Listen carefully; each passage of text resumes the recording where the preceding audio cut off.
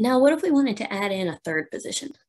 Let's say that we also wanted this position for the coupler. How would we include that in this analysis? So we do the same type of thing. We defined the new position. So let's call this, say, P0, Q0 and then we connect the endpoints. So P1 and P2 are already connected. We need to connect P0 and P1. And then Q2 and Q1 are connected, so let's connect Q0 and Q1. Then we need to draw the perpendicular bisectors from those lines. So Q0 to Q1 go to the middle, come out perpendicularly. And then P0 to P1, we go to the middle, we come out perpendicularly.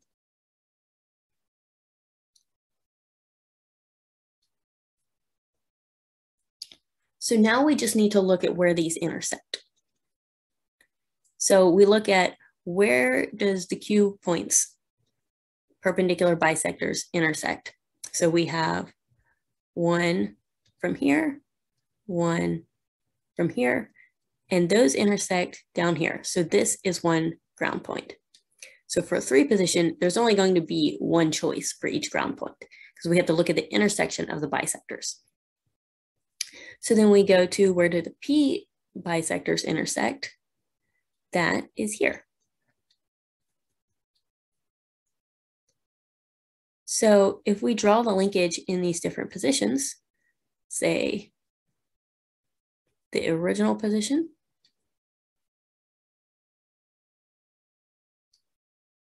so that would be one, and then the middle position,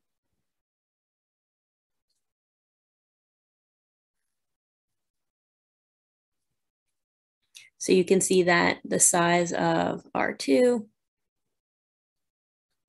and the size of, or actually this is R2, this is R4, basically stayed the same. We have R4, R2, and then finally the last position,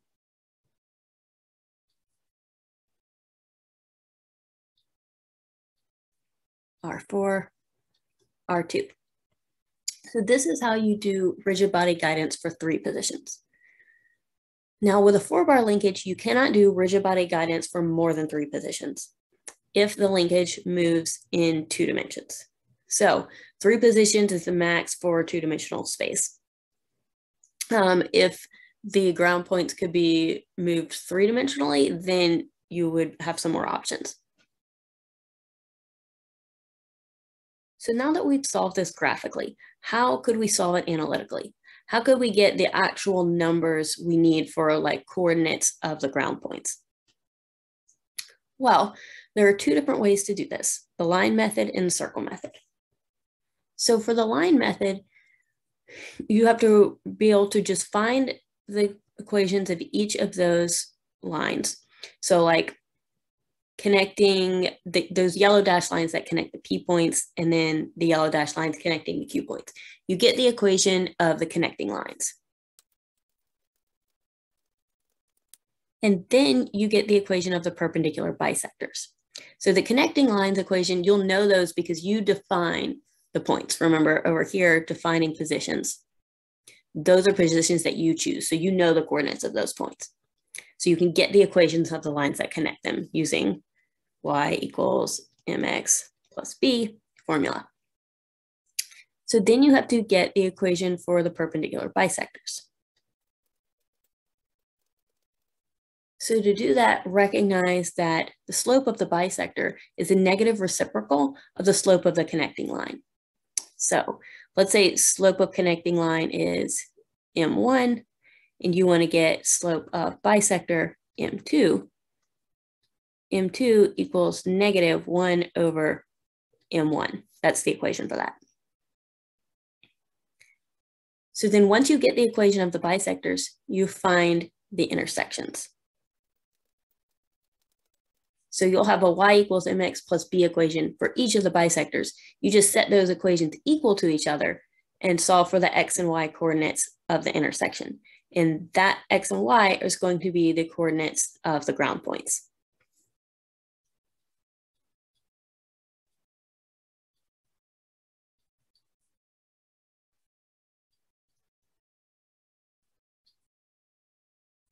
Now with the circle method, you just have to recognize that the ground point is the origin of a circle.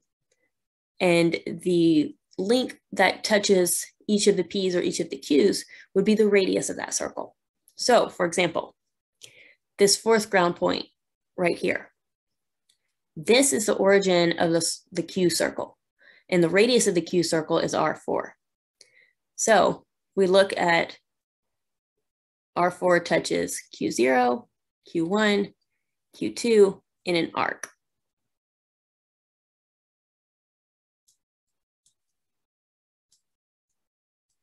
And that arc would continue.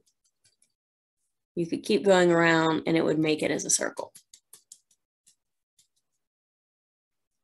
So then if you've got those three points, you can just find the center of the circle because you know that the equation for the circle is x minus a squared plus y minus b squared equals r squared. So we're trying to find a and b because a and b would be the coordinates for point Q. And then x and y come from the actual Q points.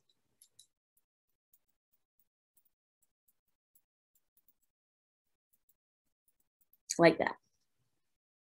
So then you'll have three equations. So one equation per Q point or one equation per P point. And then there will be three unknowns, A, B, and R. So we solve that system of three equations. So the line method or the circle method will both result in the same answer for the origin of the ground points and the length of the con connecting link. Now let's look at a MATLAB simulation of this. So if we run the program,